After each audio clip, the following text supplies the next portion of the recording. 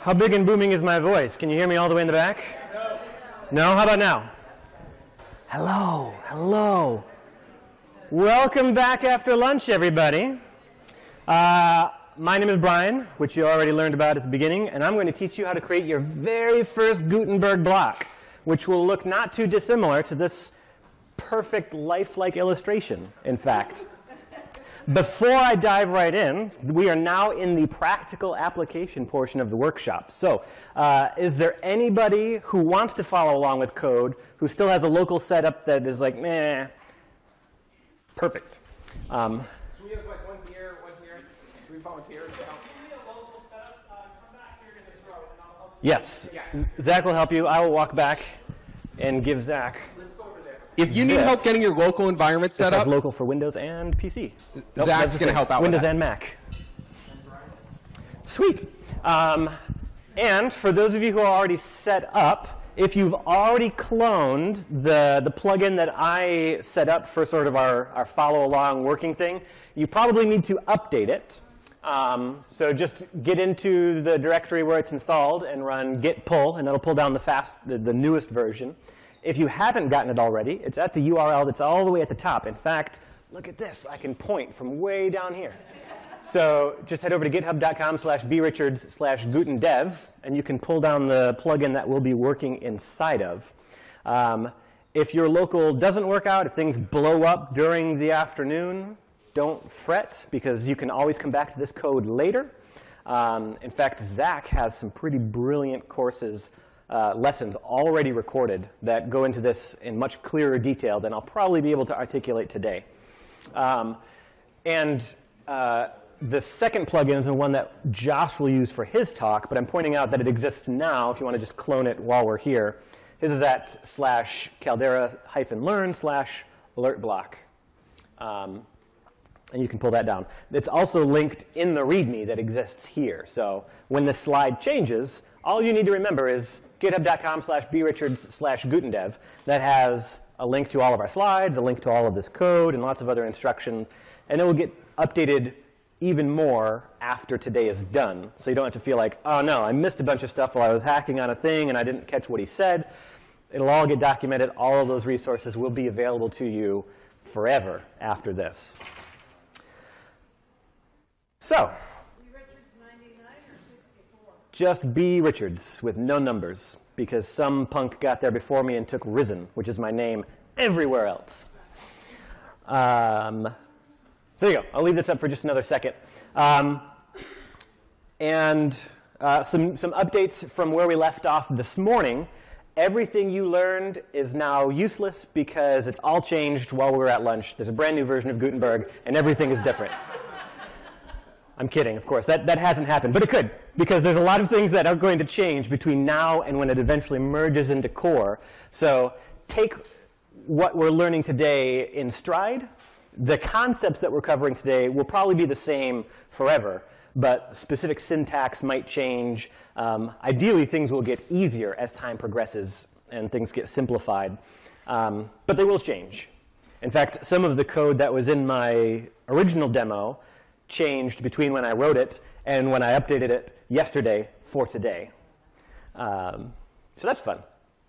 Now, uh, the very first thing we're going to have to do for creating our block um, is set up some required files. Uh, there aren't that many to create if you're working inside of my companion plugin. Um, but basically, we need a PHP file, just like every plugin, um, in order to register all of our assets. We already talked about uh, in the, the, morning sessions that we need to enqueue our JavaScript, we need to include our style sheets, um, and then we also have to register the block itself to attach those assets so that it can use them. Uh, we need the JavaScript file for actually powering the block, because right now uh, that can only be written in JavaScript. And then optionally, depending on what you're building, you'll have CSS for rendering things on the front end, perhaps some additional CSS for changing that a bit on the admin area.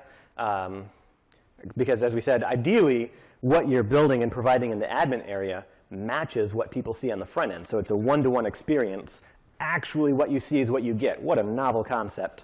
Um, but perhaps that'll be confusing as somebody comes to edit it and they just see text on the page and they're like, I don't know what part of this is actually editable. And so to help them, you may have some additional admin styles that draw a box around click here to edit or change the background slightly. Um, you know, something to indicate like you're currently in edit mode, so everything is sort of green, and then when you're in the front end, that green background goes away. Um, or perhaps other things, right? You need to, to register a few additional controls or show some sample content because things get rendered dynamically and you don't want to constantly be pulling in that dynamic content as people are editing their content. There's a lot of reasons why you might want to have admin styles that are slightly different from the front end styles. And so the basic architecture that we're going to look at for this first block, um, if you're inside of my companion file, we're starting out in uh, the O1 static directory. And inside of there, there should already be an assets directory. And inside of that directory, we're going to create block.js for housing all of our JavaScript. We're going to create editor.css for including our admin-only styles. And we're going to create style.css for registering all of our front-end styles that also get shared with the admin. So um, put another way, styles that you put down here in style.css will appear in both places. And then styles that go into editor.css will only appear in the admin area. And there's nothing magic about these names. This is just what I chose to call them. And we'll be referencing them by this name in the code that we write. So you could call them whatever you want. You could name your style sheet Bob if you wanted to. Uh, and then index.php, the one all the way down here at the bottom behind my head, uh, is just the PHP file that's going to prop things up, that's going to register the scripts so that we can enqueue them um, and attach them to the block that we're making. So um, I'm going to head, go ahead and pop over to my code editor. And we'll go ahead and do that right now. So inside of this O1 static directory, we just have a blank index.php, basically, and a totally empty assets directory. Now, in my code editor, this is really tiny on the right-hand side. You don't have to worry about what it says on the sidebar. I could right-click and do new file. I like doing this in the terminal. Um, so I'm going to change directory into O1 static and change directory into assets. And then I'm going to touch block.js to create that, and editor.css to create that, and style.css to create that, and then uh, list all of those. And we can see that we have block.js, editor.css, and style.css. Um, we'll go back a directory and list all of that. We already have index.php. If I come into my code editor, they're all there, and they're empty and that's wonderful. Perfect. So let me go back to our slides.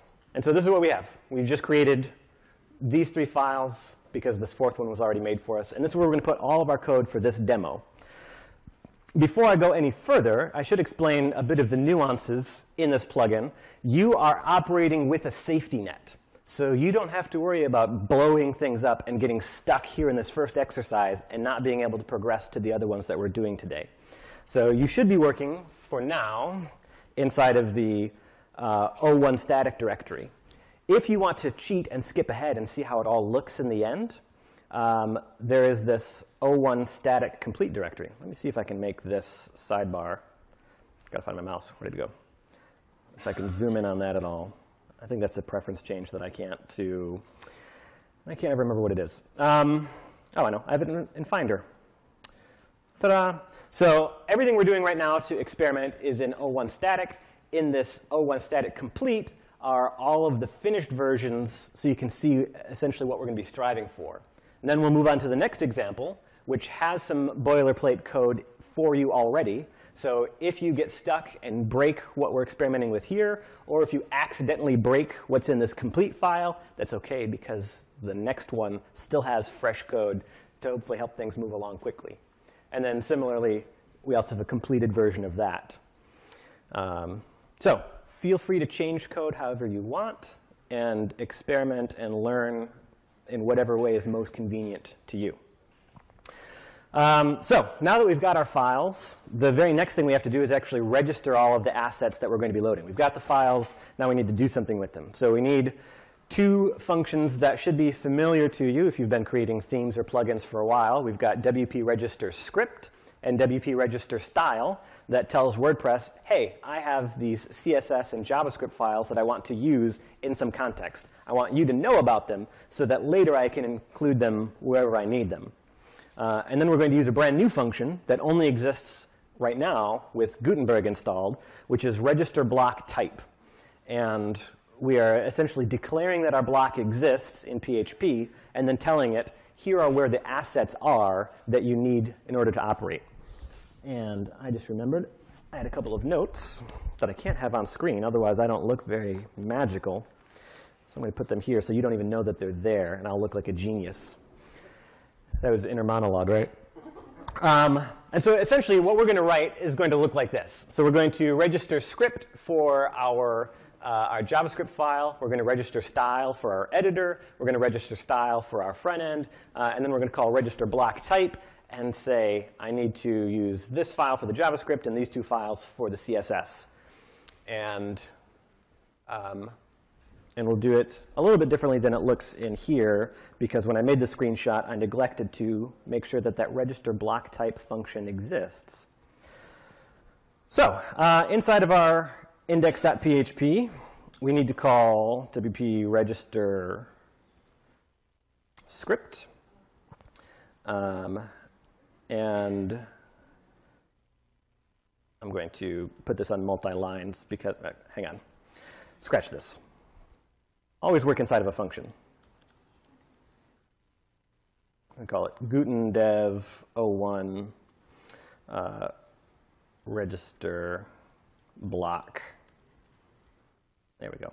And I'm going to add this via add action to init, so it loads up as soon as WordPress is ready for it.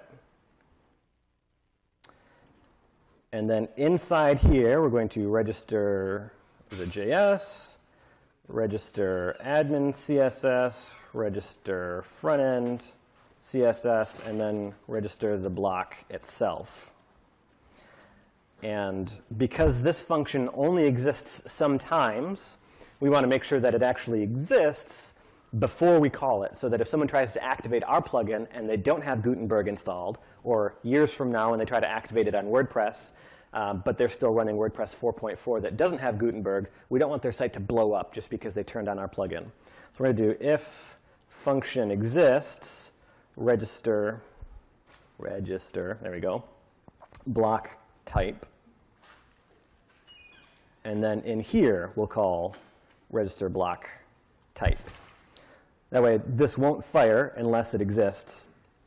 And the first thing we need to put in here is our block name, which I'll fill in in just a second. And then here we have to declare um, the assets. So we've got an array,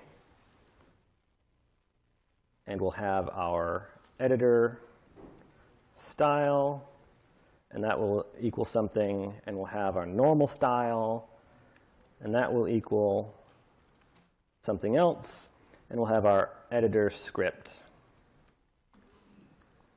and that will also equal something.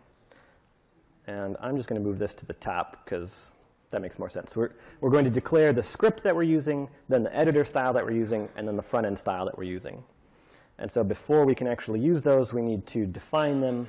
And before I do that, I'm just going to name my block so I don't forget to do it later. And then I go to show you a demo and it doesn't actually work, which is something I'm notoriously good at. Uh, so naming blocks in Gutenberg is a lot like naming a shortcode or naming a widget. Right? You have to come up with a unique name that identifies whatever your block is. There's one important difference, and that's blocks have to be namespaced. JavaScript supports namespacing. PHP has supported namespacing for a very long time. In the WordPress world, many of us don't use namespacing for, for declaring our functions. We're very used to doing something like I just did here, where I add a prefix to all my functions. Um, Namespacing is pretty cool, and if you're not familiar with what it is, you should look it up um, because it might make your development experience more pleasant. But in this context, what it really means is we've got some base name, our namespace, then a forward slash, and then whatever this particular block is named. So I'm working inside of the Guten dev namespace that I just made up, and I'm calling this one Guten dev hyphen 01 hyphen static hyphen block. So I've got my static block that lives inside of the Guten dev namespace. And this way, if you were to come up with your own namespace and also have a block that was named static block for some reason, our two blocks wouldn't collide. Um, and if you forget to do this, you'll see a nice JavaScript error when you try to load up your block, and it's going to say, hey, this block should be namespaced. We haven't included it because you're not following the rules. Um, and that is the basic example there. We'll have to fill in each of these blanks in just a minute after we register our script and our styles so that we can give them a name to automatically be enqueued. And thanks to my linter, I just noticed that I have a semicolon in the wrong spot there. That would have been embarrassing. Glad nobody saw that. Um, one of the cool things about how register block type works is we don't have to actually call WP enqueue script or WP enqueue style on our own. Register block type does that for us. So it knows, okay, I'm in the context of Gutenberg. I need to show this block. That means I need to bring all of these assets with me. You don't have to worry about where they show up. Unlike when you created a shortcode or, uh, or a widget, you'd have to manually call WP enqueue script yourself to make sure that all of your assets come with you. It's one nicety that I really enjoy. So to register our JavaScript file, we're going to use WP register script. And I'm going to call this one Guten dev 01 static block JS for good measure, be extra verbose here. Um, and then the source for this is going to be plugins URL. And a quick aside, it's always bothered me that core has been this way that there's plugin path, which only accepts one parameter, which is the current file that you're using, and then you append whatever path you want on after it. Whereas plugins URL uh, is precisely backwards. You can tell it, here's where my file lives relative to the file that we're currently in. Uh, which is fun. So this is going to exist inside of assets, and it's going to be block.js. And this will automatically create for us the full long URL of where this file is. And I'm going to pause here uh, to point out that we have a leading slash here. Um, so it's going to be whatever the root is for this current PHP file slash assets slash block.js, which should load this file right here. And if it doesn't, well, we'll come back and fix that when it comes time to show off the code working. That's my motto. Pretend that it works, and then fix it when it doesn't. So we've got a few other parameters here. Uh, we don't have to worry about setting in footer. That gets taken care of for us. Um, I also don't have to worry about setting the version in this example. Um, you probably do want to set a version number for your assets in the real world so that they can break a static cache every time you release a new version. Um, and that's as easy as just calling it. My go-to is just to type in the date. So 2018 0316, and it is currently 12:40 p.m. I mean, you can type in whatever string you want in here, and it will automatically append that as a query string at the end of the URL, which does a really good job of breaking caches from CDNs and things like that um, that hosts are kind enough to give us this day and age. Um, and there's an example we'll look at a little later um, that shows how to dynamically generate that based on the timestamp of the, the last time the file was saved which is a pretty cool um, sort of code style. Uh, all right, so we're on setting the dependencies for this JavaScript, and this requires quite a few. Um, actually, it requires precisely a few. It requires three. Uh, so this depends on um, WP blocks. We want to have that available to us. We, hyphen, thank you. Um, WP-blocks. Uh, we want WP-I18N for internationalization, um, and we also want WP-element. These are all of the, the globals uh, that exist that Zach was showing off so that we can do things like register our block in JavaScript, or internationalize our text strings, or create an element. Um, and if you're not familiar with WP register script, this just makes sure that these three JavaScript files are loaded before ours so that when we reference them, the sky doesn't come crashing down. Um, and then, whoops, I have a trailing comma here that shouldn't be there. So very simple. We've got a name for our script. We've got the file URL for where the script exists, and then the other scripts that ours depends on. And we're going to do basically the same thing for our CSS, WP register style. Um, and this one I'll call Guten dev 01 static block admin. And I'm just going to copy and paste this and change it from block.js to editor.css. And we're going to make sure that it includes support for WP hyphen blocks, just to make sure that the rest of the block styles are in before ours so that we could override them if we wanted. And then our front end style is basically the same. Um, but instead, oops, that shouldn't be commented out. Uh, this one will be called front for front end, and it will load style.css.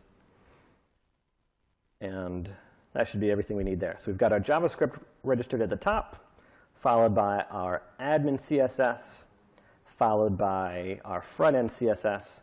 And now we just need to feed these names to our register block function down here. So there's that one. And we add in our editor style, and then we add in our front end style. And now, WordPress knows all of the things that it needs to bring along for our block to work. If we were to load up the admin area and refresh things, nothing would be different because we haven't actually created a block at all. So there's no representation. We just have a bunch of empty files. But now we can start throwing things into these, and Lord willing, they'll all work perfectly the first time.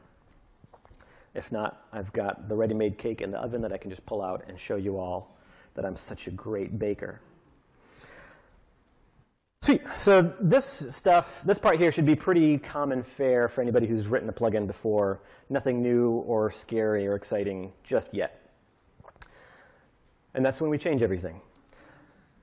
Before that, let me jump back into presentation mode because I think I have some ideas written down about this. So, ta-da, there's what we just made. Um, now, step three, let's create the block. Draw your circles, do the rest of it. unfortunately, that's basically how this is going to go. Uh, so we, have got a few things that we need to do in order for this block to work. Um, and before I begin, how many people have created a widget before? And of you, how many found that to be a somewhat frustrating experience for the very first time you made one? Yeah. How about a shortcode? Anybody create shortcodes? Similar frustration? Is that easier? Uh, I find this more analogous to creating a shortcode. You just need to learn a bit more, but then it, it, it starts to become more fluid, unlike the sentence that I was trying to articulate. Uh, so the very first thing we're going to do in our JavaScript file is include all of the external dependencies that we that we rely on, the, the same ones that we declared in PHP, right? We need WP blocks so we can use register block type. We need elements so we can create an element. We need I18N so we can do our internationalization. We have to now reference all of those in our JavaScript file, give them a shorter name so we don't, our fingers don't fall off while we're typing the mile-long name that they have otherwise. Uh, we have to give it a title so that it can actually be represented somewhere with a name that people can recognize. Uh, we should give it an icon, and I have an asterisk here so I don't forget about the next slide where I talk about icons. We have to set a category. As we talked about this morning, there are five predefined categories, and those are the only categories that you can use today. Soon, you can create your own categories. So as you're creating a whole suite of plugins, you can create uh, a category that's unique to your brand, and all of the blocks that you're registering can go inside that category if you want. But right now, you can put them in five, and really it's just four. One of them is embeds, like oEmbed stuff, um, and it's unlikely you're going to make a block for that. Maybe you will. But we've got, we've got a few to choose from. Um, most of the blocks that I anticipate most people making are going to be for formatting, so that text content appears in a very specific format. Um, or uh, another one. We'll look at what all the categories are in just a second. Um, optionally, you can register keywords for your blocks. One thing that I really like about the block inserting portion of Gutenberg is it has a search field, and you can just start typing whatever block you want to insert, and it filters this gigantic list that, let's be honest, will be mile long in a year when everybody and their brother has created a block. You can just start typing a string to represent what block you want to find. It filters it down, and ta-da, here's the one that you want. Um, so we're going to add a keyword so that all of ours can be found by searching for GutenDev, even though GutenDev won't show up anywhere uh, relative to the block itself. Then we're going to define some edit functionality so that it shows up in the editor and you can change aspects of it. And then we're going to define some save functionality so that those changes you make actually continue and they're not just for pretend and make believe. Um, and for icons, natively, Gutenberg supports Dashicons because they're built into WordPress core. And I feel important to mention these because there are a lot of icons that core ships with that it doesn't even use that are just free for you to use for your own purposes, specifically for that purpose. Um, and you can go to developer.wordpress.org slash resources slash Dashicons and see a full list. Um, if you don't like any of these, which is also fairly common because some of them don't have a lot of uh, different opportunities for use, you can bring in your own icon. And there's a few ways you can do that, including just providing reference to an SVG file. So if you've got an SVG you know, vector artwork that represents an icon that you want to use, you just tell Gutenberg, load up this, this SVG file, and ta-da, you've got your own nice new icon just for you. So back to code demo. This is where we write the rest of the block. So buckle in, because we've got a lot of new code to learn.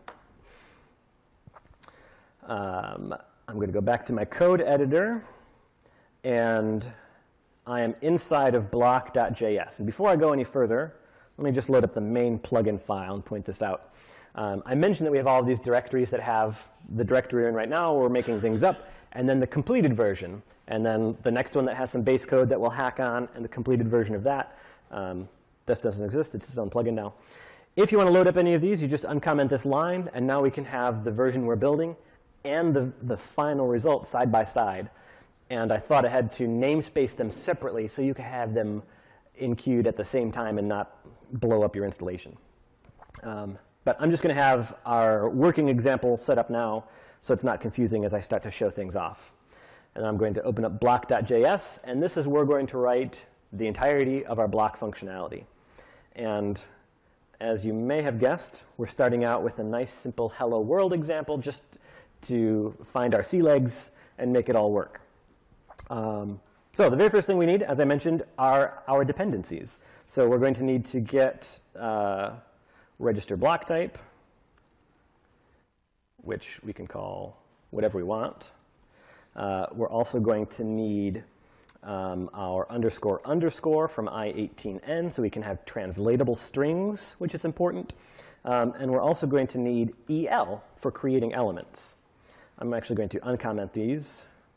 Actually, I'll leave them commented, and I'll just uh, write it out. I'm also going to write this in ES5. Um, Josh is going to show up and blow all of your minds with a much nicer way of doing this.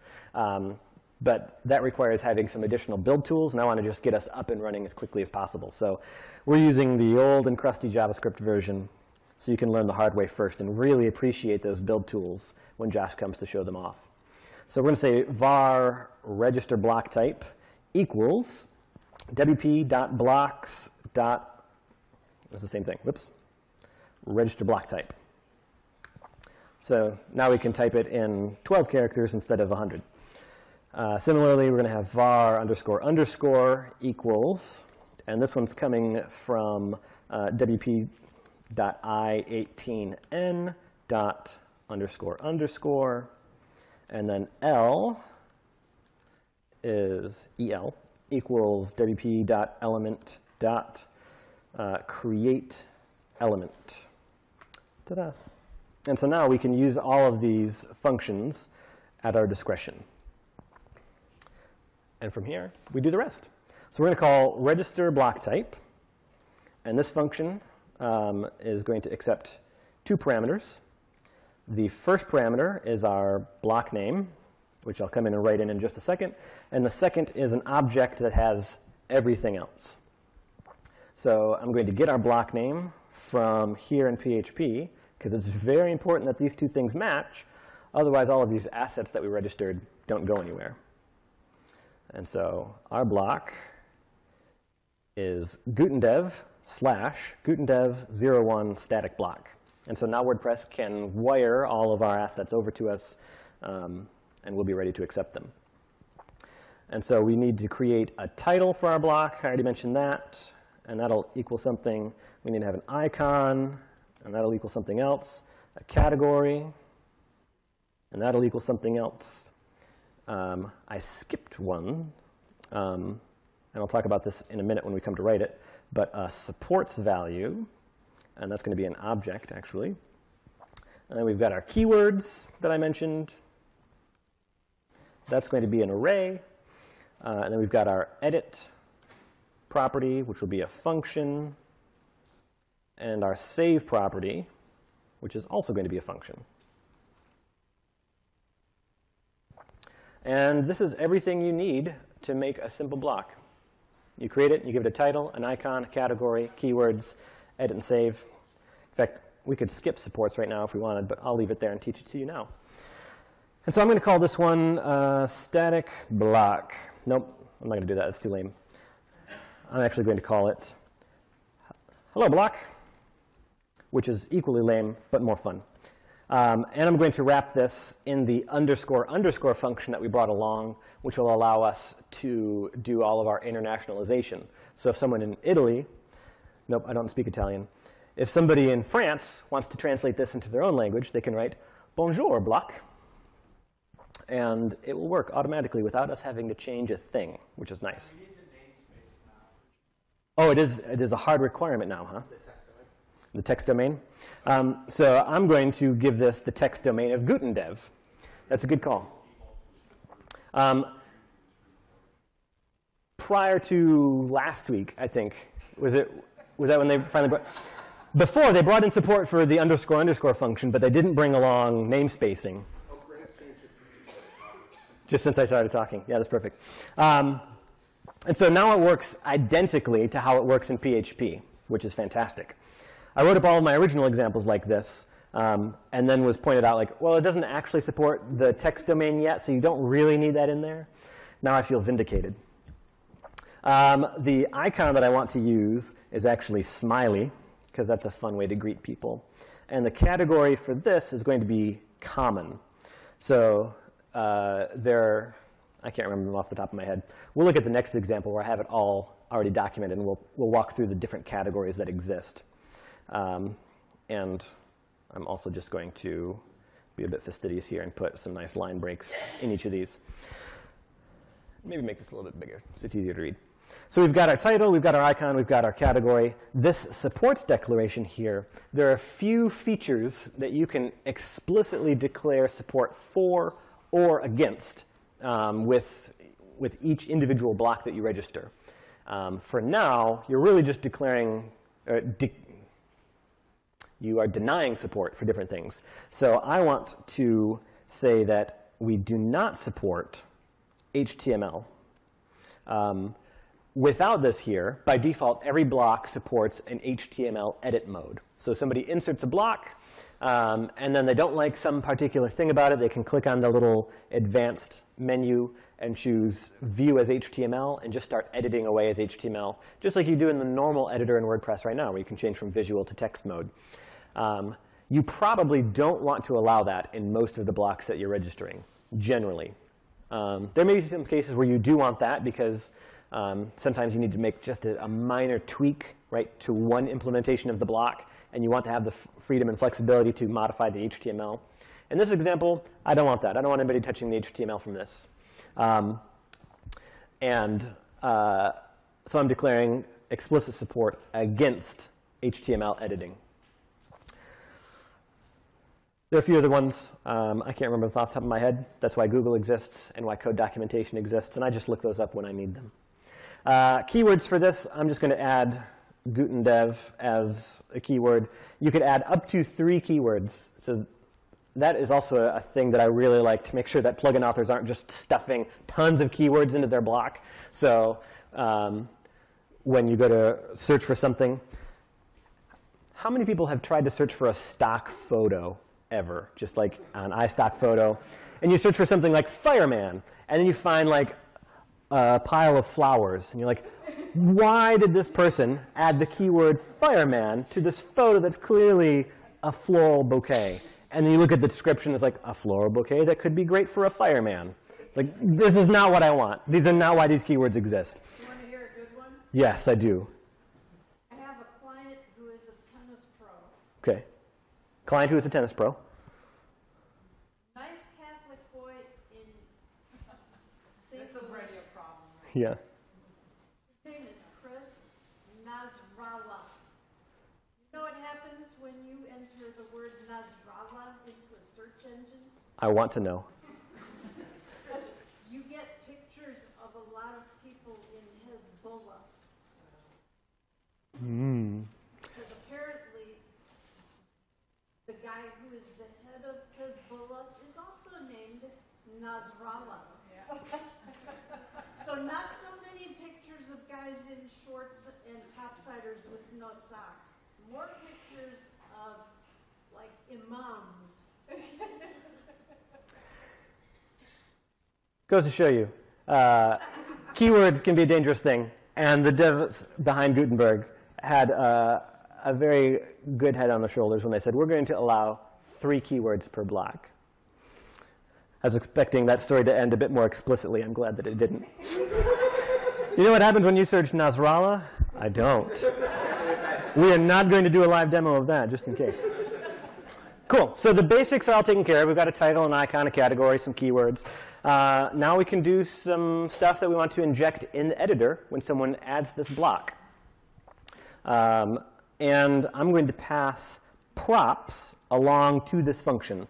So the properties that exist for this block can be fed into the edit uh, function so that we can reference them and get things that we might need later back out of them. Um, and the only thing that edit is technically responsible for is returning the markup that needs to appear in the editor. So we just have a return statement. And in here, we're going to put some HTML that gets put in the editor.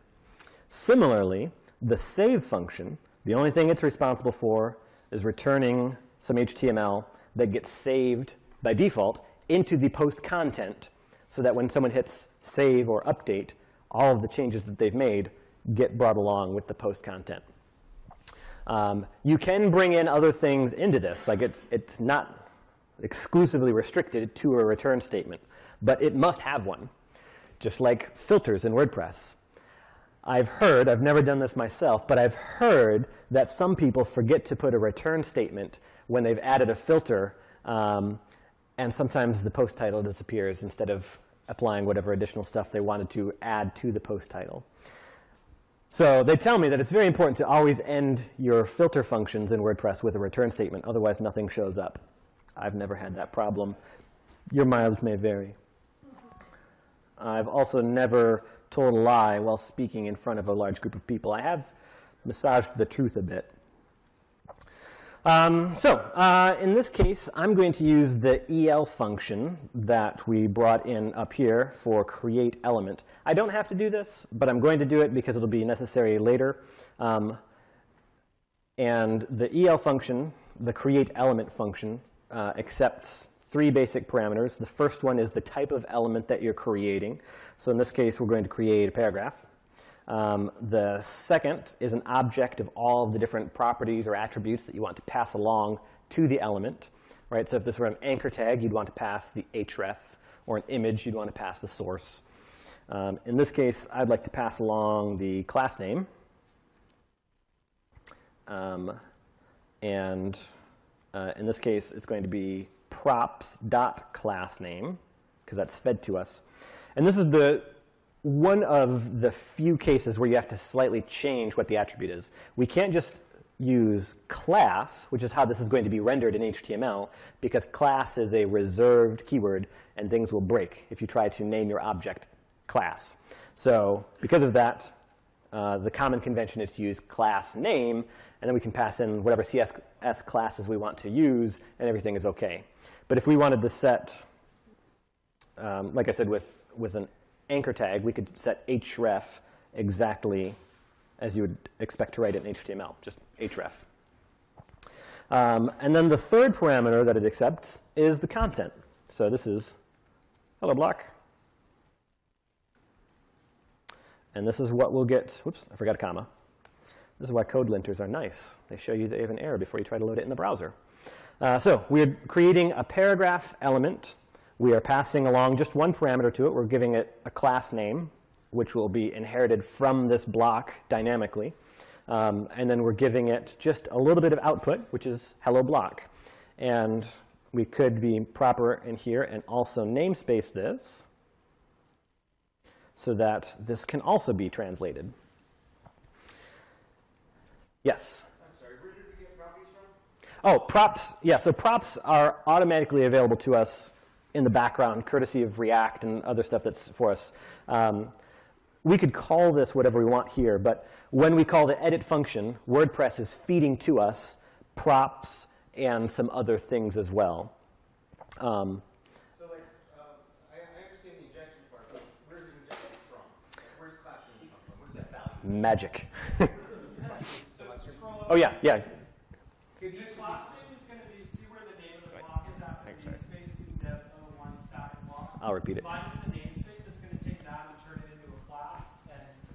To props.class name. Josh is trying his darndest to make sure all this gets documented. Oh, so the, sorry the about that. question was, um, uh, where is this class name coming from? It's getting dynamically injected, but sort of what, what is setting this class name? How's it getting there? And then Zach had a great answer. which is after the namespace where you see Gutendev 01 static block, that's going to be the class name that it assigns. So every block will automatically get a unique class based on its unique name. Yeah, Yep, WP dash look- block dash whatever. Yep, so it'll look like this. So it'll be um, WP hyphen block hyphen your namespace hyphen whatever the actual name is.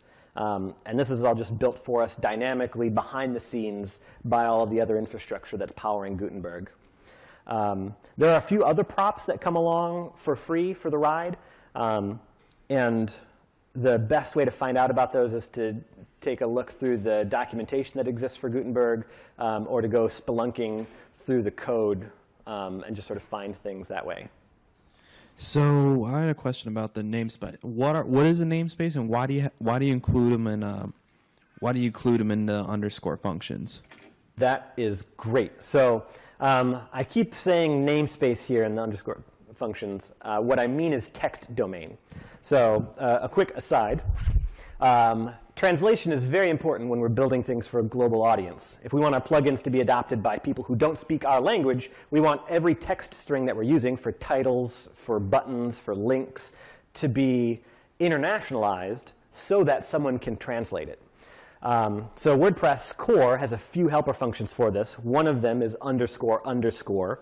Um, there are a few other variants specifically um, for when you want to inject something into an HTML attribute. For instance, there's uh, one that will automatically escape it for you. It's ESC underscore ATTR underscore underscore. So it's like applying escape attribute with the underscore underscore function. Um, so this does not actually do any translating itself. There's no, there's no magic here, but this declares this string as a translatable string. Um, and then there are tools like poedit. Um, basically, we'll, we'll generate a file that has all of these strings that someone who speaks another language, who is bilingual, can say, ah, instead of hello block, it should say bonjour block. Um, and they'll write the translation. Um, and then some other magic that is baked into WordPress will do the text string substitution for you. And then to get to the point of your question, this text domain um, helps to differentiate between your hello block and my hello block, which might be translated completely differently.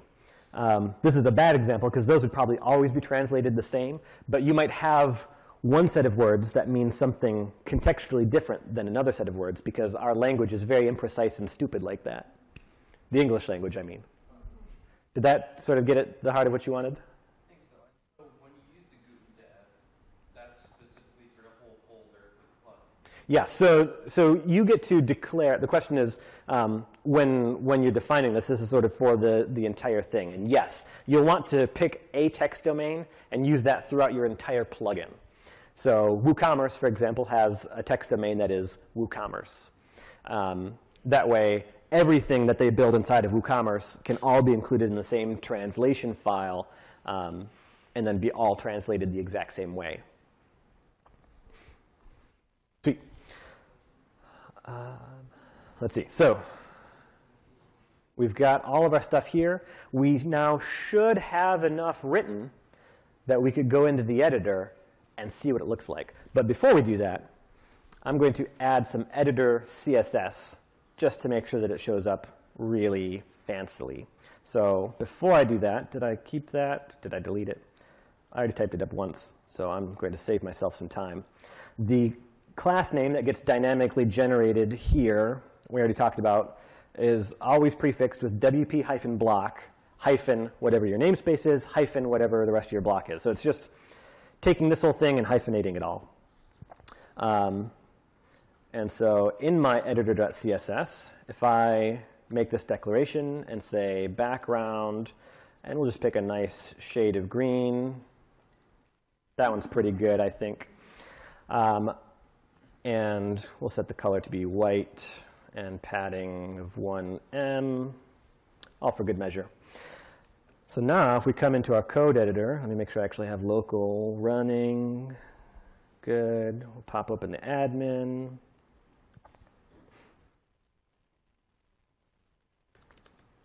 Type in my super secure and unique password that you couldn't possibly guess. There's four characters that I can type left-handed. Uh, so we're going to go to our posts, and we're going to create a new post. This will be called a static block test.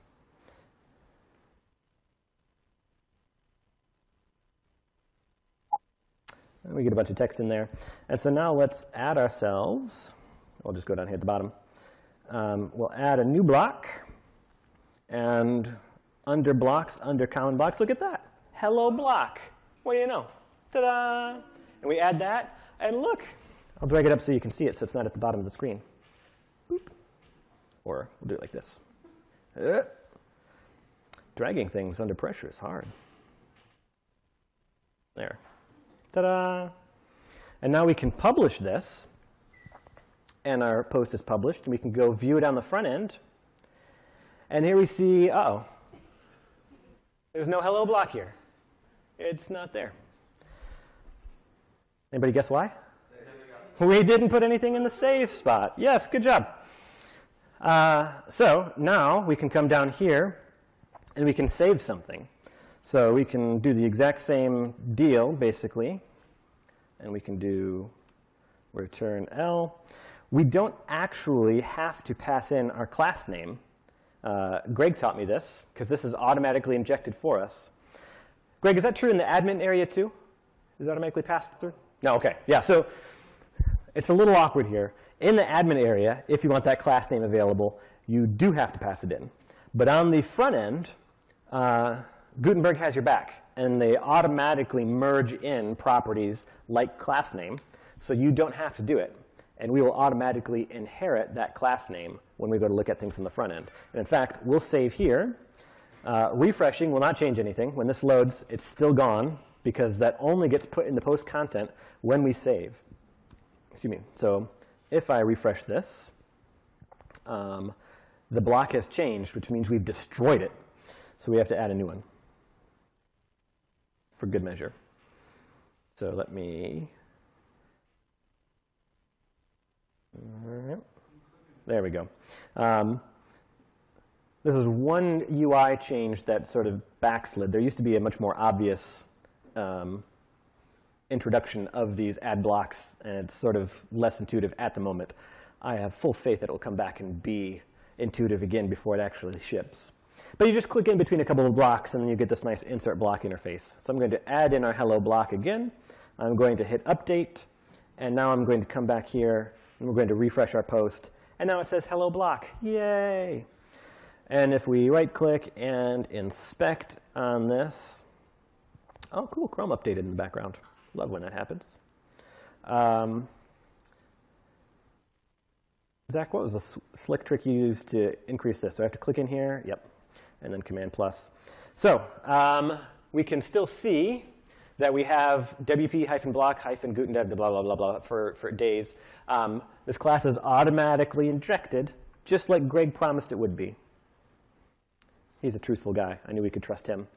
And so we can uh, duplicate these styles, but instead of it being green, we could make it red. And if we refresh this admin area now that we've changed our styles, nothing works. I thought I did. Let's go look here. Did I type it wrong? Asset slash style. I registered it. We've got Gutendev 1, and I've got it there. It was magic the last time I ran this test. There it is. Just have to hit refresh one more time. Uh, ta-da, now we have a nice red block. And if we go back to the admin area and do a hard refresh here, which was the trick, it's still green because our admin CSS is overriding it because it loads our front end CSS and then our admin CSS and then to the magic of the cascade, the admin overrides the front end without having to increase specificity at all, which is wonderful. So we have just created our very first block. Give yourself a round of applause. Now, back to the previously scheduled content here.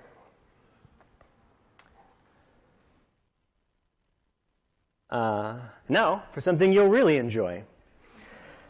It seems like an awful lot of work to just register a paragraph tag, right? We had, I didn't count all the lines, but there were quite a few lines just to get a paragraph tag into the content. Well, good news. WPCLI can generate everything that we just wrote in two commands. So you call WP scaffold plugin and you make your plugin, and you can have a plugin. You call WP scaffold block and you give it a slug, you give it a title, uh, you can declare the icon that you want to use, the category you want to use, what plugin this block belongs to, and it creates that. And then one line of PHP in your main plugin file, you call require once, and then whatever name of block you just created, and you have everything that we just wrote, plus dozens of lines of inline documentation.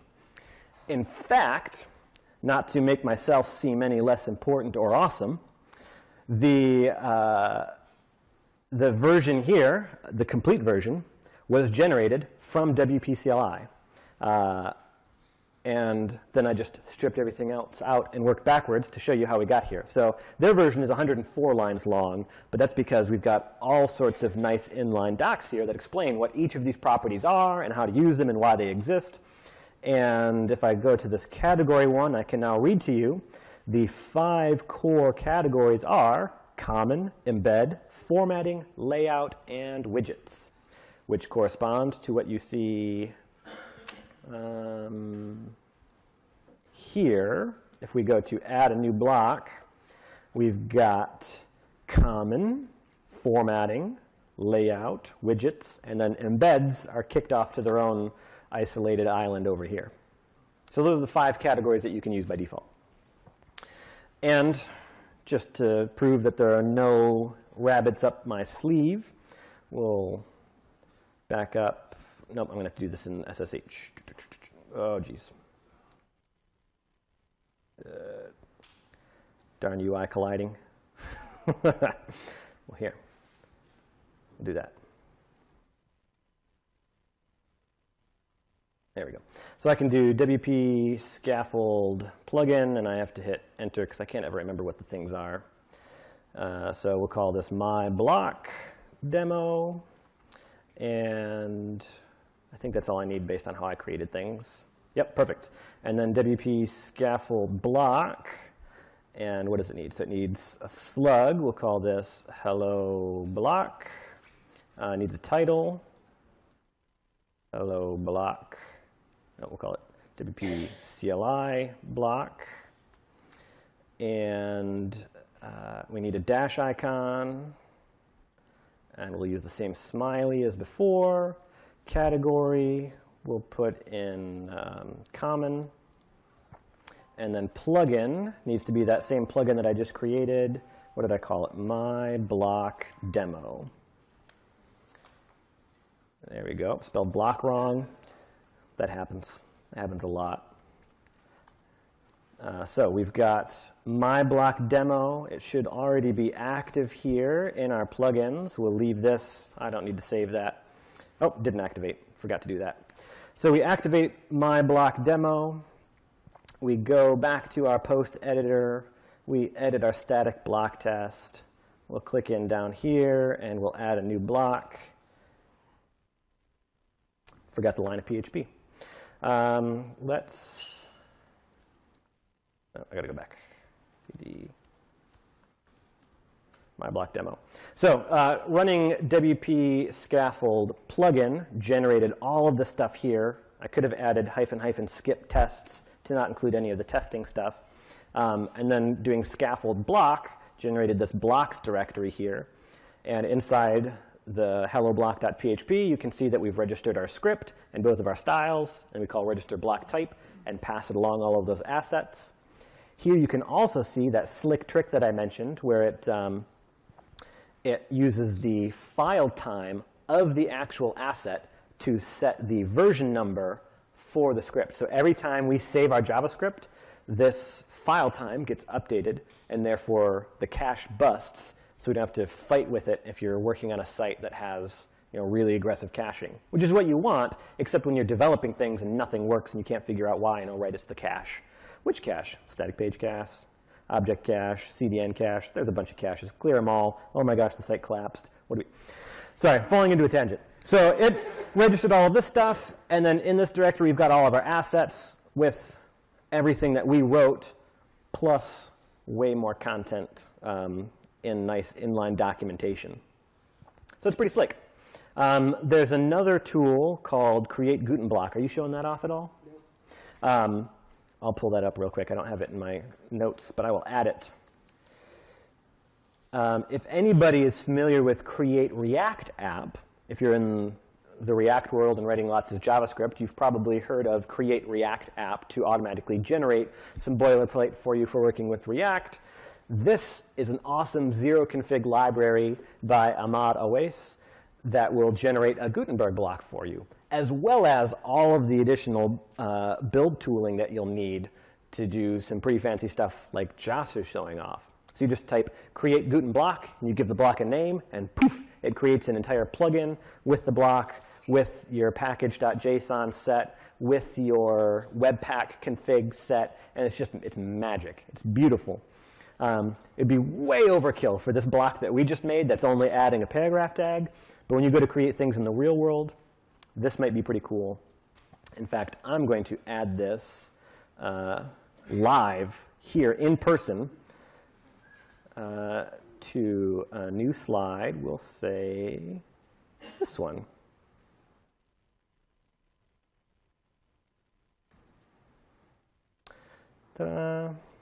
Now it's a link.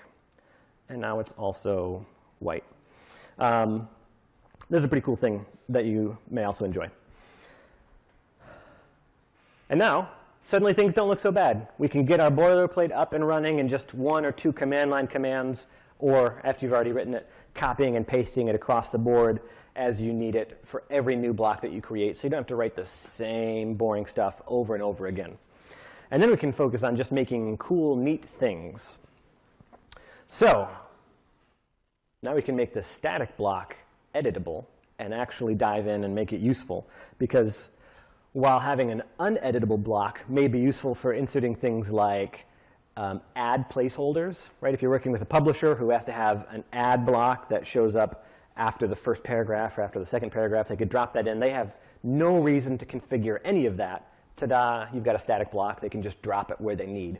You may have other things like that too. Business requirements for the site where they just need to have a way to insert a thing, and you don't want them to have any control over changing that thing. A static block is perfect for that.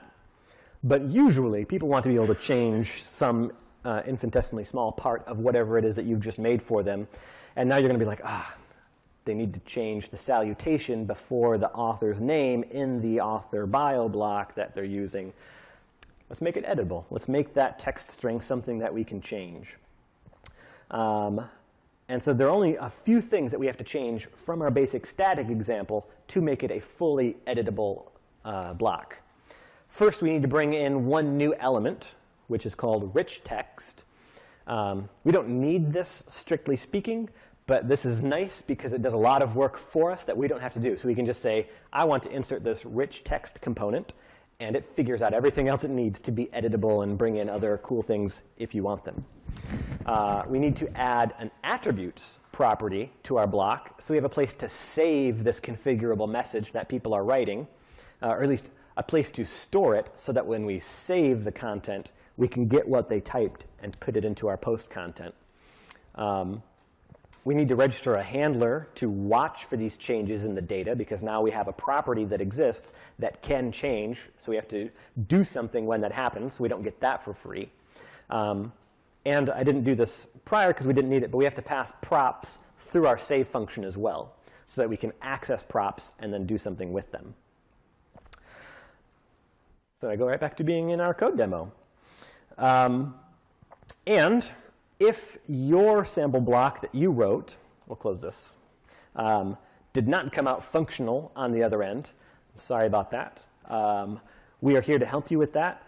But don't worry, that shouldn't stop you from participating in this next section because presto changeo, we have a brand new editable directory that you can work in that has a working version of what we just built, plus some documentation to explain what we just built. And now we can start hacking on this. So before I dive into editing this and making it fancy, I need to remember to include it. So we are going to include our editable block. And now we can start mashing on it and making it cool. Um, so I'm going to collapse my static complete example, and I'm going to dig into block.js, because this is where we're going to start making our most important changes. Uh, and as I mentioned, the very first thing we have to do in here is, uh, is include support for that rich text editor element. So I'm going to add var. We're going to call it rich text. And this is from wp.blocks, just like our register block type. And it's simply called rich text. Ta-da, now we have a rich text function and we can stuff that wherever we want it.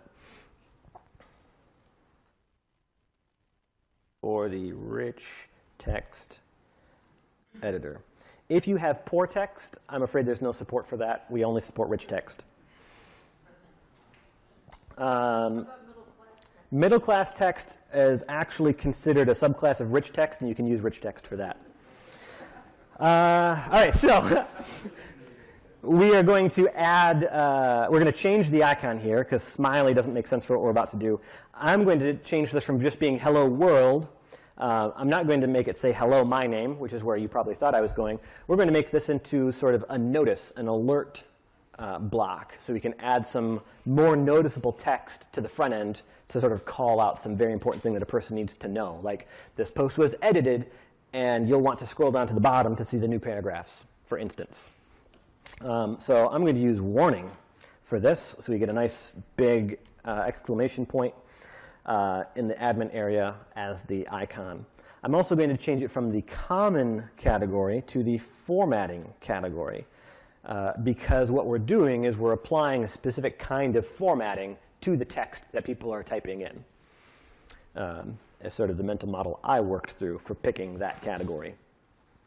Uh, we don't need to change supports because I still don't want to support HTML mode, although we could take this off and allow people to edit this in HTML. That's your choice.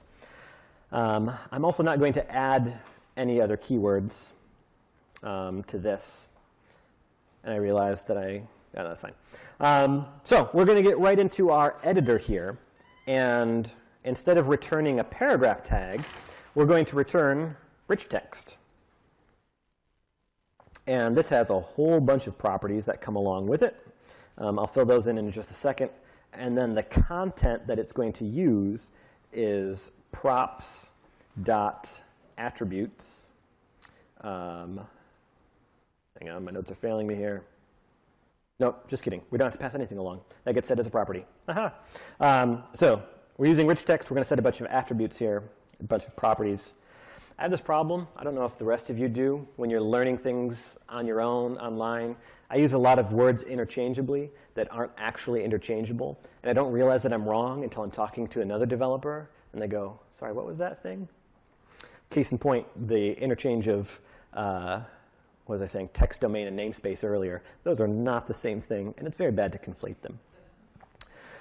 So we're going to set a bunch of properties on our rich text element, uh, and that will include things like the tag name that it's going to use, because it can morph into whatever we want. Um, I'm going to make this a div in this case.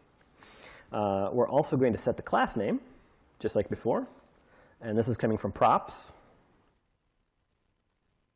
just like before. Next, we're going to set the placeholder. So this is what it will say before somebody types something in. Uh, and we want this to be internationalized so that people can change it. Um, and it needs to go into the Guten Dev namespace and uh, type something important. That's what I'm going to use for my placeholder. You can put whatever you want there. Uh, we're going to set the value. And I realized that I put single quotes around the placeholder. That's a force of habit. You don't need those. Value is going to be where we pass through the value of our attribute. So this is props.attributes.message. And now you might be wondering, where the heck is this message coming from? And what are these attributes that we haven't talked about before? We have to define those. Another question, where do you know, how do you know what tag name and placeholder? Mm. Another question is, how do I know what all of these things are and what to set for these properties? I'm just really smart, and I can, I have an index that has all of this information in it. You could ask me about anything. Um, that index is called Google. It doesn't actually work in this context because everything is new and shifting. Um, so I know what these are because I looked at the documentation. There's already quite a good deal of documentation that exists for Gutenberg. It's almost as though the people who are building it want us to start using it as quickly as possible. Uh, so, um, a note to all of you developers who are building things for other developers consider writing your documentation first or immediately so that when you release your thing, it can explain itself to the people who you want to use it. Because you're just like, I made this thing, and there's no docs. I'm probably not going to use it. You are probably not going to use my library if I push it out like that. But if you have documentation, people can read it and figure things out. Um, we could go spelunking through the code, um, and if we go to, do I have this linked? I may have forgotten to actually link that. Where did I put my notes here? I did. So let's go very quick on a, on a uh, virtual field trip to GitHub slash WordPress slash Gutenberg. And in here, there's lots of docs, like I said, which is wonderful. I know that we want to go into blocks, and then we want to go down to rich text, which is the one that we just uh, imported, and look at all of these properties that they've documented for us. So we can track the value, when things change, what the tag name should be, what placeholder we want to use, if we want to be multi-line or not, a whole bunch of other things that we're not even going to use because we don't need this, need them for this demo. But this one um, component is really handy for a lot of cases. Most likely, it's going to be your go-to anytime you have some editable aspect of any block that you're creating. There are bunches of others, right? I scrolled through a bunch of stuff. There's a bunch of different components that um, exist. Um, and I would encourage you to, to click around here and, and see what kinds of cool things you can find. Um, good question, Zach. Uh, so uh, we've got a tag name, we've got a class name, we've got a placeholder, we've got a value. But right now we have no idea where this value is coming from. We know that it's going to be a message and that it's going to be some subproperty of attributes, but we have no idea how we got there or what that is we have to define those attributes. And so we can define that up here. We could define it at the bottom too if we wanted, but I'm going to put it here in our object.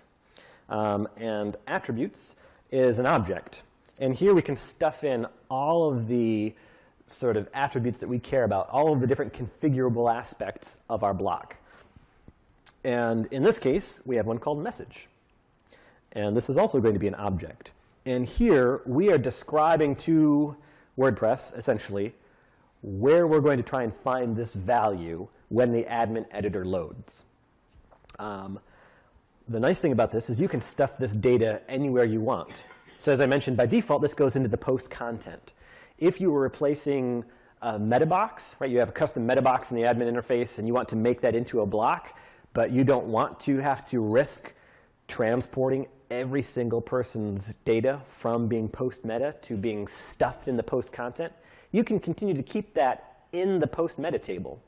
In fact, you may want that for a lot of things, right? If you're making a dynamic block that's fetching posts from some API, and then you want to find out like where are all of the posts that are using this API call because I need to update those, instead of trying to parse the post content for a thousand posts, which would be a nightmare, you can just query post meta like you've already been doing and find all of the values that are in post meta that have this and change them there.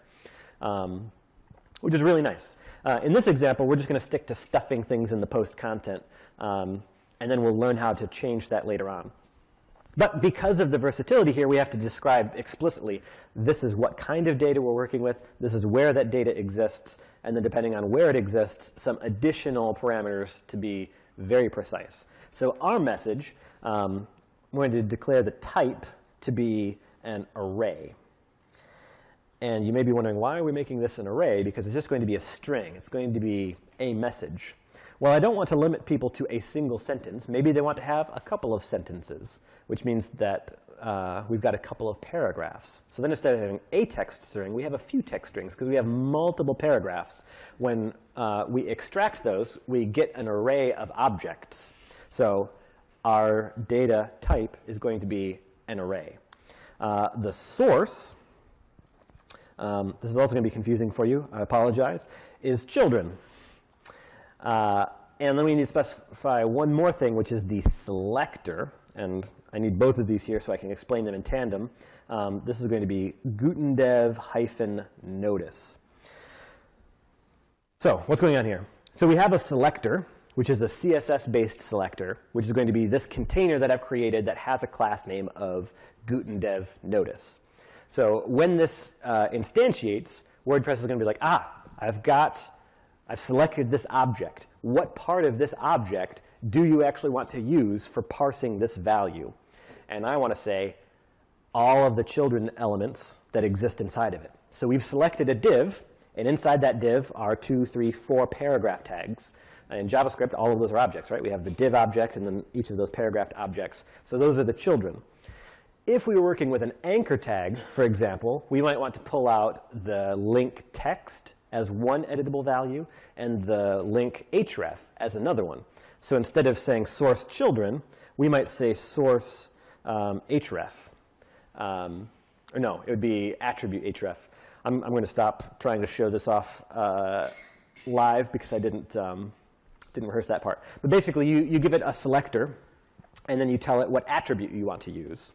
Um, and so you can rebuild an anchor tag in your save function um, without having to risk somebody editing an anchor tag as HTML to change the link text or to change the href. Similarly for an image, right? You want to have them insert a full width image, and they need to be able to change the source of the image and the alt text for the image. Um, you can give them just a couple of inputs for changing those.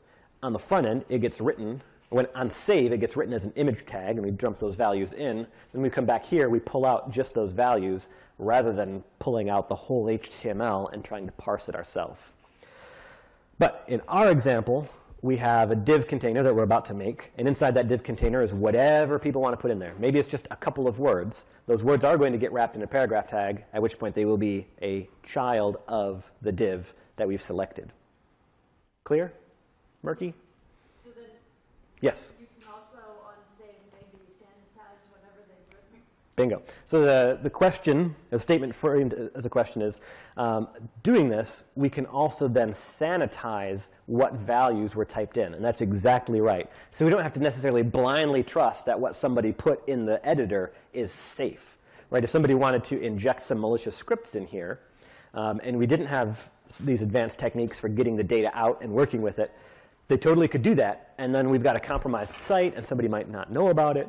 And so by doing this, we can both um, we can sanitize it when it's uh, being output, and we can escape it when it's going into the database. We practice good code security.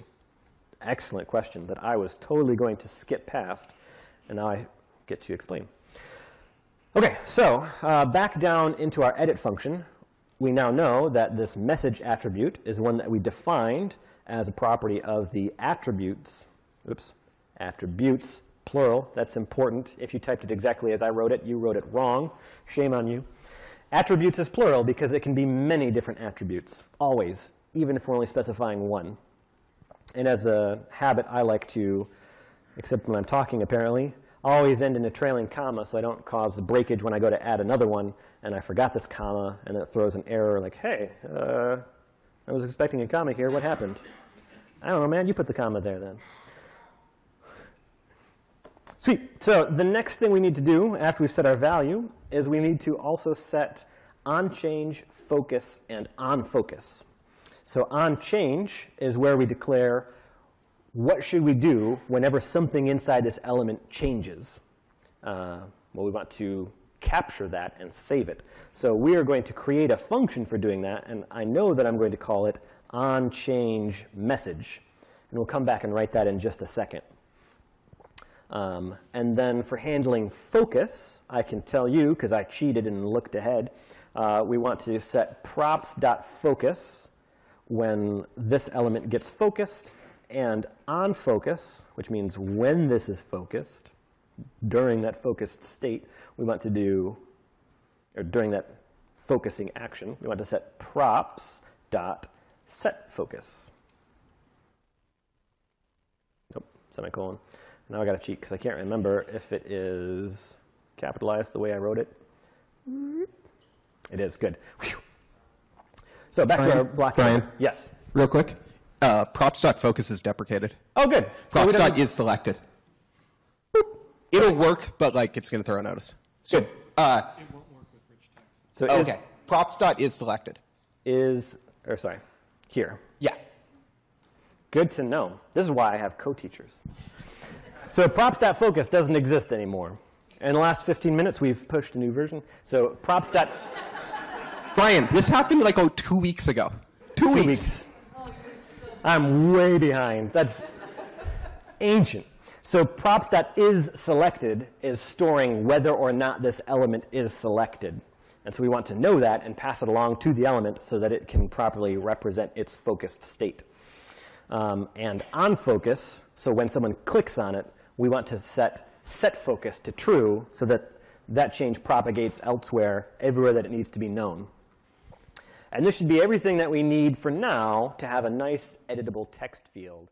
The exclamation point icon for a warning that I wanted. And uh-oh, it has encountered an error. So what do we do? Well, when this happens, we right-click and inspect, and we bring up the console, and we can see, if I scroll back here, on change message is not defined. So I referenced this for handling the change, but we didn't actually define what on change message is or what it does. So let's go back to our edit function here. And I'm just going to declare it as a function. We're going to call it on change message. And it's going to get a value. Um, and I know that because I tested it. But um, during on change, we're sent the value of whatever came across during the change. And so now we want to take this value and we want to set it to be whatever our message value is in our attributes. So there are a few ways we can do this, but the best way is going to be to call set attributes. So we do props, which we're getting from here and passing along, dot set attributes. And inside of this, we specify which attributes we want to change and what value we want to change them to. So we want to change our message attribute, and we want to change it to match whatever the value was blindly. We're just going to let people type in whatever uh, they want here. It's important that we type that correctly, or it won't work. Um, and so now, anytime somebody changes the text, it gets sent to this onChange message function, and then it gets passed to set attributes, where we update our message attribute with the new value. And now, if we come back here and we refresh and reload and close this for a second, And we add our block, and this time I'm just going to use the shortcut that they gave me. Look at this. We've got something. It's not quite editable.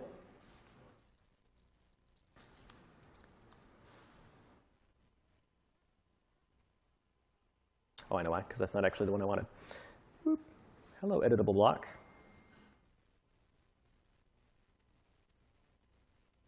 Wait, it's still broken here.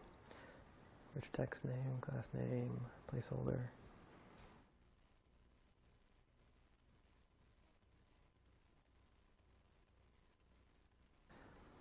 Pay no attention to the man behind the curtain here. Um. I also didn't quite do it the same. I think I removed it in mine. The on focus problem, 119, Yeah. I think you might be right. Let's, um, real quick, let's make sure that the working example is actually working there, just in case.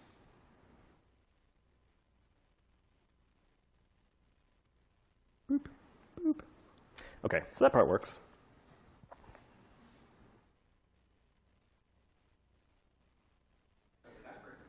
So that's not true. No, you didn't break it, but I did. So let's debug in real time here. So we've, we've got a couple changes here. Um, in the working version, I forgot that I actually wrapped um, rich text in a div for good measure. So we've got a div, and we're passing along, um, oh, I know why, props dot class name, and we're setting class name to that. Um, and then the content of that div is this element which is going to be rich text. And it's going to have all of these properties. We give it a tag name, we give it a class name, we give it our placeholder, we set our value, we set on change, we set focus, we set on focus. I might still be running an older version of Gutenberg, and I might not have it as selected. Let's see. So these should match, and we'll come back and do a refresh and reload, and it will be gone, and then we'll add it again. Yeah. Let's see if it was Josh's fault. By the way, this is what a lot of Gutenberg development is making a change, refreshing the browser, starting again. Nope, it's not Josh's fault. It's something that I did. So we'll just go ahead and paste the working example in there. Ta da! This is why it's good when you do live demos to already have the thing written and within reach. Somewhere, I perhaps missed a comma or typed a value wrong and there's a dumb typo, and that's really frustrating. It takes a long time to debug, and you don't want to waste everybody's life doing that when you're in front of them. Okay, so we have now this editable text thing, and if we refresh this, did I actually save it? I did. And we add it one more time, and we insert this. There's our important text message, and blah, blah, blah, blah, blah, blah, blah. That's good. But it's not going to save because we haven't updated the save method um, to match. So we need to change what's going on here during save so that all of this text that we're writing comes along for the ride. And in order to do that, save also needs to know what the props are because we have to access those in order to get the message attribute. Uh, so we've got that. And in this case, I'm going to output a div. And in this div, we're going to have a class name. And what did I call it? Gutendev-notice. And I namespaced, or rather, I prefixed my class name because notice is already used by WordPress in the admin area for a completely different thing. We don't want to inherit those styles. Um, and then the content of this div is just going to be our props.attributes, attributes.message. And so now we've got this editable version, and then when we save, we just dump in this div with a class name of Guten Dev Notice with these additional uh, custom content into it.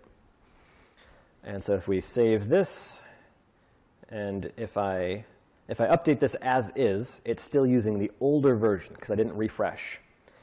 And it'll say post updated, view post, great. And then we'll go to refresh, and oh no, it's broken because I didn't refresh first. So don't be alarmed. We'll remove the broken version, we'll add a working version, and now I'll type, this is an important message. Really important. Can't even hit all the exclamation points. And now we update this, and it says post updated view post, and if we refresh, good news, the message is still there exactly as we typed it. And if we come to the front end and refresh, good news, the message is still there exactly as we typed it. How neat. Um, but this doesn't really capture my attention that well. Uh, it looks kind of dumpy, in fact. So let's also change our styles. Um, we're not going to keep any of these. Those are kind of lame. Um, instead, I'm going to set the background to a nice yellow. Uh, I think FFC is what I want. Uh, we're going to set the border to a slightly darker, solid FFA, nope, FF7. Uh, the color, just to make sure we've got a nice almost black. Um, we'll put some padding back in there. Uh, we'll make it 1.5 ems all the way around. Uh, and then we'll add a box shadow because we can. And it'll be 0 pixels, 3 pixels, 5 pixels, RGBA 000.15. So a nice soft shadow. And now if we come back here to the front end and we refresh, that gets my attention. Let's make it a little bit better. We'll add a margin of uh, 2 rem, nope, and auto. We could even add a max width of 720 pixels if we wanted. And we refresh this, and now we've got this nice noticeable thing here. And then we can delete the editor styles. We could delete the entire file if we wanted. It doesn't need to be there. But I like saving it just in case I want to come back and add some custom styles. And now we've got this. Look at that. That's nice.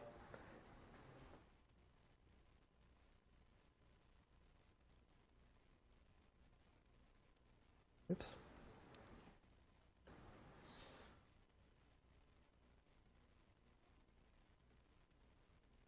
And we can even make it multiple paragraphs and update, and we refresh.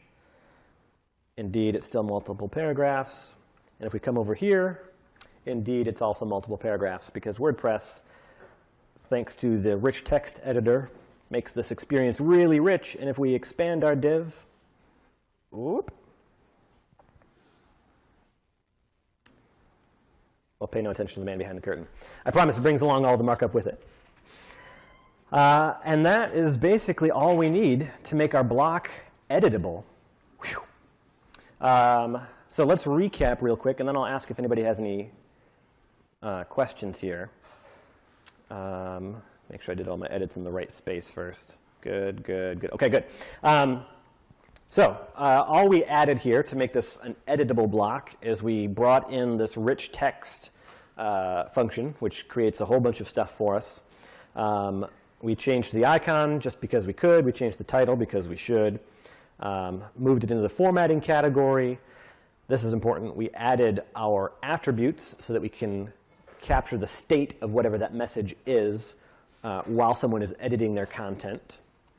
We passed in our rich text element through the editor, adding a new onChange message handler for this value that we're changing. Um, and then on save, we capture that message and pump it into a div that we gave the name GutenDev notice. And that GutenDev notice class is important. You can pick whatever class you want, but it's important here because that's how we're selecting it when we come back to the editor and it takes that HTML that was generated and makes it into an editable block again. So we select the GutenDev notice, we get all of the children that exist nested inside of that, which makes it an array.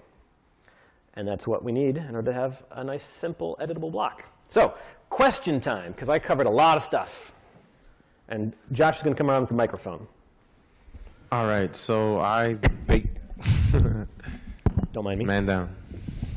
So recently, I, I got into uh, theme development. Okay. So my question is, what prerequisites, as far as understanding, I guess, ES6 or React, would you recommend for learning how to build blocks?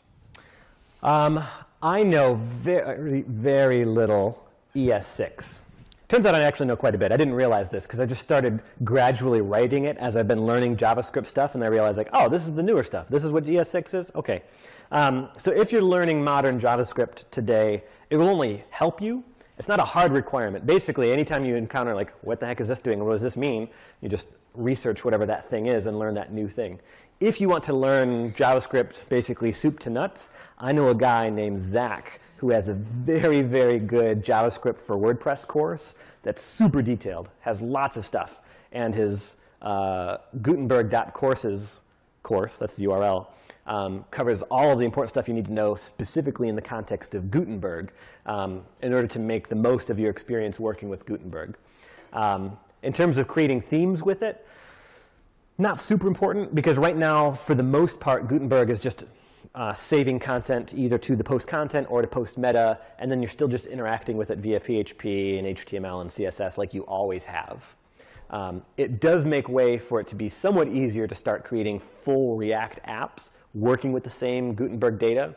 And if you want to start doing that, then you definitely need to learn React and ES6 or ES Next, actually, um, and all the stuff after that. Yep, no problem. What about uh, Demi?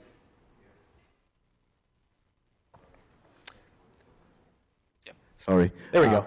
What about uh, if I, I want to be like custom theme? Like right now, we, we see it as a plugin. Yep. It's better doing as a plugin, or we can apply the same principle on the or in a in a custom theme. Yes, this was a great question that I'm surprised we didn't actually talk about already. Um, anytime you're creating a block, you definitely want to register that block as a plugin. Because if you register it as part of the theme and somebody wants to change their theme, poof, all of the support for all the custom blocks that you've just made are gone. They change their theme and they go to look at a blog post and everything is just broken uh, when they go to edit it because there's no declared support for that block. Um, so always, always, always register your blocks as plugins. Now, declaring styles for your blocks, that you'll probably want to do more heavily in the theme. Like, you should always have at least some baseline style in, in the block, in the plugin, um, so that someone who's using your plugin but not your theme um, still has something that looks nice. But if you want to get like really precise and specific for matching the elements of the theme, that styling should go in the theme. Similar to when you're creating, say, a widget as a plugin.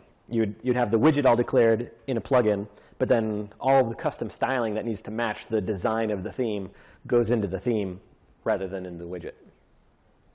Sweet. Hey, question for you, right here. There we go. Um, in Gutenberg, is it possible to filter blocks only for certain post types? Ah, yes, that's another good one. So yes, um, does it already do that? Yeah. Yeah, okay. Wait, did you say no? Yeah, give the, give the microphone to Greg. He's going to have the much more precise answer here because he's actually building Gutenberg. Yeah. So the thing is that at the moment you have every blocks registered by default. You can specify which blocks are not provided uh, for the CPT. But what happens, like all the blocks are still there, but in the inserter and everywhere else where you would pick, they don't show up. Cool. But we of course are working on the way of providing a completely customized set of blocks for every CPT. So then you can like lock everyone to whatever you want. Cool. So it'll be similar to the supports thing where you're saying, I don't want these blocks at the moment. Yeah, m- more or less because it's still Yeah, so, so this part's experimental, I would say. yeah, the, the direction where this is going is going to be really awesome because you'll be able to declare entire templates, for instance. Like one of the, the most promising thing about the current um, layout builders that exist, like Beaver Builder, which is my favorite, um, they have pre-configured templates. So you say, I want to start from this, and poof, it jumps in with all of these modules already done for you. Um, that is where Gutenberg is going to go. That should, that works now. The- You just can't block, you can't prevent other ones from showing Okay, cool. So, so you already can declare templates, but people can fully modify them. Um, And eventually you'll be able to restrict it and say like, I only want these five modules in this order for this post type. You can define just those five modules, but then other ones will still appear in the selector as available. So you could like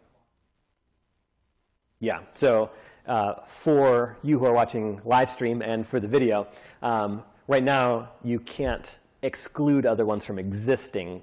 Um, that's the part that's still sort of changing, um, which is why Greg's answer was sort of hard to deliver at the moment. Yeah, also I want to- circle back to the focus and on focus because this one has changed and we change, check that in between and on focus is happening for you behind the scenes at the moment so you don't need those two lines and it will Oh yeah, perfect. I was hoping fine. for that. This is one of the things I'm like, this doesn't seem super necessary if I'm just feeding it what it should already know. And Greg confirmed, we don't need to do that. It does that for us. And by the time Josh is done talking, um, we'll probably already have support for things uh, being excluded in the editor. Wouldn't that be amazing if it moved that quick? If you want it to move that quick, you should, uh, you should contribute because I know everybody would like more contributors. So Andrew. you registered the block in PHP. Uh, you can also add attributes there, I believe, right? In PHP instead of JavaScript. Yes. So um, in the PHP where we registered the block, all I'm doing right now is passing along the assets that we want. But we could also pass along some attributes here. Um, for the moment, and you basically can define them in all the same way, um, I don't like doing that because in the context that I've been playing with Gutenberg most, it's been for replacing things like a shortcode, um, which this doesn't really save me anything. I, I need to have, whoops, I need to have the attributes defined here in the, in the JavaScript because I like my code to be expressive and I want to be able to interact with it and make it work. So I, I want it here. Um, and then in the PHP where I'm, say, replacing a, um, a shortcode, I still also have to declare shortcode attributes inside of that for backwards compatibility. And so this is one more place for me to define the attributes instead of eliminating a different place. Um, but yes, you can declare all of the attributes here in PHP along with the assets, and that gives you a bit more control um, for, for making them accessible server side for setting things like defaults for, say, a particular post ID um, or doing other neat things. And then long term, um, as Greg mentioned, eventually all of the stuff that we're doing in straight JavaScript should be also possible in the PHP. So you could theoretically write it only in PHP. Yeah, I'd add there are three good cases right now to use PHP registration. Like by default, I'd use JavaScript. But if you're doing a server side rendered block, which at the end of my example code, I switched from JavaScript to PHP attributes because I'm going to do server side rendering. And so you need the attributes to be known in PHP land. The other one that is if you're um, going to do something where the attributes are created on the fly based on like database queries or you know some sort of configuration file or you're, you've created some sort of more object oriented approach, it might be easier to dynamically generate blocks or attributes Yep. from co- from PHP code, especially because you can do like database queries more easily, um, or you know just not have certain blocks based on certain user like that kind of weird stuff that's going to be more tricky to do. It might be better to do it all on the server side, especially if it involves permissions. In the back, I think. Did you have a question? Oh, the weeds need for that. You need to have the shusher in order to speak. In response to what you were just saying, uh, why would you prefer PHP for dynamically generated data as opposed to a front-end JavaScript model or like a, an async await? Uh, so I would prefer that in the case of it's easier sometimes. For example, if I'm uh, adding a block that does what a shortcode also does, right? Because the shortcode pre-exists, or you know we need backwards compatibility. You know, 4.9 can use the shortcode, 5 can use the block. Um, that callback is super similar to a shortcode callback. So, like in my everyday life, this is one of the things I do is, you know, register a render callback and then plug in the exact same function that the shortcode callback is wrapping. So that's a very easy migration path. The other thing is that, you know, sometimes it's not worth doing that extra HTTP request, right? Like, at what point is it like, oh, I can write a two-line PHP function and av- avoid all the complication of front-end JavaScript, versus like, okay, well, this is a complex app. I need front-end JavaScript. Does that make sense? Cool. Any other questions for this? I just maybe this is just a simple question here, but in the your first example, in the keywords part of things in the uh, block.js file, um, I didn't see you do any internationalization. Is that possible through the keywords? And if and when it when you do the internationalization and they, somebody searches it, does it actually work with that language? That is a great question. I believe it is possible. Yeah, so Greg gave me the thumbs up. Yes, you can internationalize, and in fact, I think I did that in the later example without even thinking about it. All right, let me look at my first example. I did not, and then in the second example, I did. Yeah, so you can internationalize it so that someone can translate it to be whatever that keyword is for their language, which is just slick. Sweet. One question up front. Uh, gotta get Josh to run. No, he does. How do you say block in French? How do you say How do you say block in French? le bloc? oui, je parle français un peu, mais je ne parle pas très bien. Which is the best thing I know how to say in French, which is I can speak French a little, but I don't speak very well. it's a very important thing to know. I can also say, je voudrais aller au cinéma. I want to go to the movies. That's it. That's uh, two years of French in high school. Sweet. I think this is a perfect time to segue then and take a five minute break. Round of applause for Brian.